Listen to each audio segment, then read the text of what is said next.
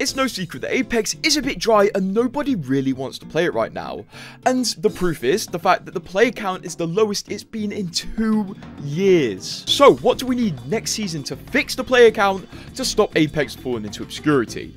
Well, all we have to do is look at Season 16 because Season 16 brought 210,000 more people to the game just on Steam in one season. I mean, look at that spike. And believe it or not, Season 16 didn't do anything crazy. There wasn't some new major legends or there wasn't a brand new map. It had neither of those all it came with was remastered legend classes, which was a huge, really awesome and fun rework, the Nemesis, a mixtape. That was it. The biggest recorded season of Apex on Steam literally had no legend or map. And with rumors that the fact season 20 is going to be pretty heavy on the reworks, apparently ranked is getting reverted, which would be really nice.